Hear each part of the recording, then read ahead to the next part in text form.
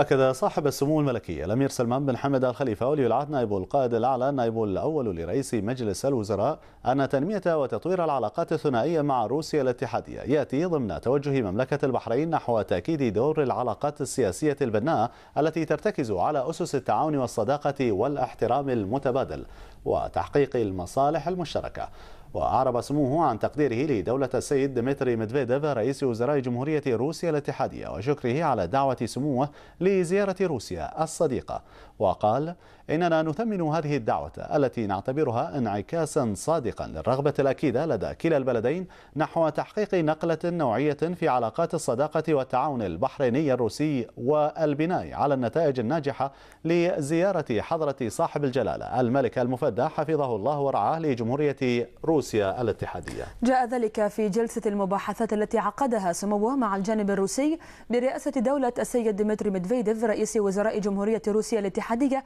بمقر رئيس الوزراء الروسي اليوم بموسكو حيث أبلغ سموه ولي العهد معالي رئيس وزراء روسيا تحيات جلالة الملك ملك البلاد المفدى حفظه الله ورعاه وصاحب السمو الملكي رئيس مجلس الوزراء حفظه الله وتمنياتهما لروسيا الصديقة المزيد من التقدم والازدهار.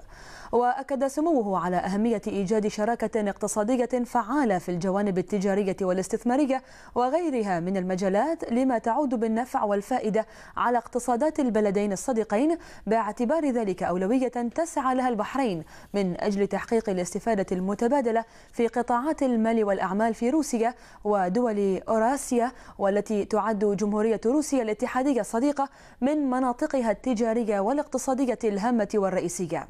وتطرق سموه مع دولة رئيس الوزراء الروسي إلى دور الاستقرار من أجل التنمية والتطوير. وأشار سموه في هذا السياق إلى أن الأحداث المتلاحقة في مختلف مناطق العالم أكدت على ضرورة العمل على تعزيز مبادئ الإصلاح وعكست في الوقت نفسه أهمية التوافق في كافة المحطات لما ينتج عن ذلك من الاستقرار المستدام وتوجيه التنمية لصالح الجميع.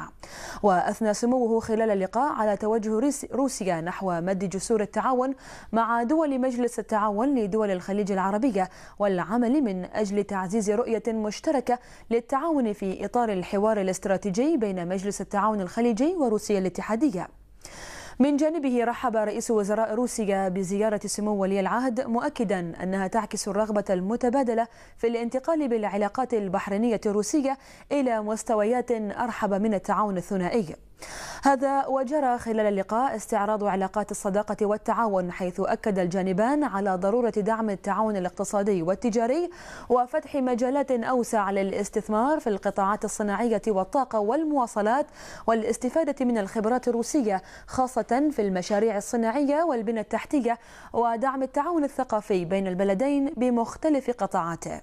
كما جرى بحث الموضوعات والقضايا الراهنة على الساحتين العربية والدولية وأبدى الجانبان تأكيدهما على دعم وتعزيز أمن واستقرار منطقة الخليج العربي وضرورة تعظيم فرص السلام والاستقرار في الشرق الأوسط وحول الأزمة السورية أكد الجانبان على أهمية الوصول إلى حلول تخرج الشعب السوري من محنته وتحقق له تطلعاته.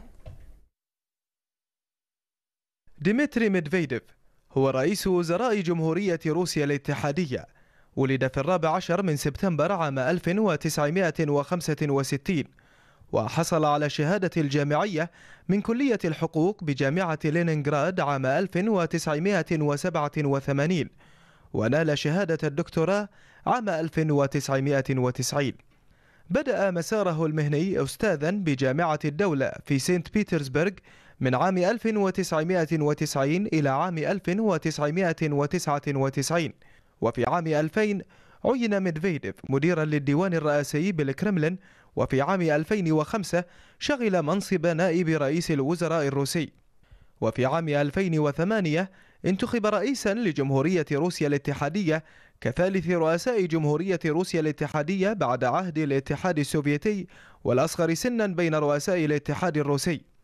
وفي عام 2012 تسلم منصب رئاسة الوزراء. بعد أن فاز فلاديمير بوتين بانتخابات الرئاسة.